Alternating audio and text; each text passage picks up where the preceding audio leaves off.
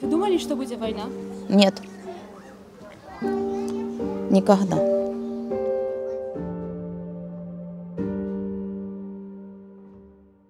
Мы думали, что это как-то, ну, может, начнется, но мы как-то все это быстро закончится. 7 марта очень сильные были бомбардировки и э, ну, очень страшно было. И мы решились на этот шаг. Ради, я, по крайней мере, ради ребенка, чтобы он не слышал взрыва. Решились и уехали. Мы спустились в подвал. Сразу. Я еще собиралась на работу идти. Не верила. Я работаю учителем в школе.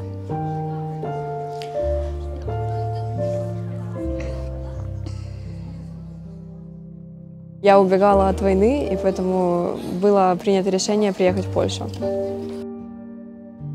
Ну, сложно на погранпереходе было, потому что мы пересекали, ну, мы не на машине, а с сумками. Ребенок нес сумки, я несла сумки. Ну, Мы сели только в пятый поезд, который отправлялся. Поезд э, штурмовали дети, э, женщины с детьми, со стариками.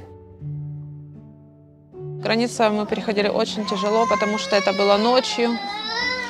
Где-то мы проходили 14 часов границу. Очень тяжело, ночью холодно было. Ну, мы прошли. Вот. Эти крики, это, наверное, останется на всю жизнь. стараемся сказать. Но опять же, если не, заряди- не заряжены телефоны, э, связи нет. Потому что там, где живут мои родители, нету света, и они, ну вот, І ще один син теж залишився. Одному 27, одному 28. Ну, как, он постоянно спрашивает, где папа, хочет домой. Ну, Так.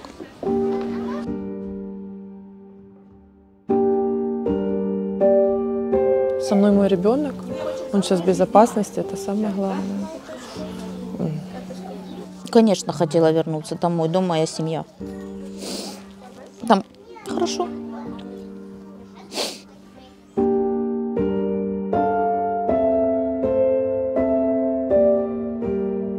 Пока наш дом невредим, но очень надеемся, что так и будет. Но главное, чтобы люди не погибли, как бы.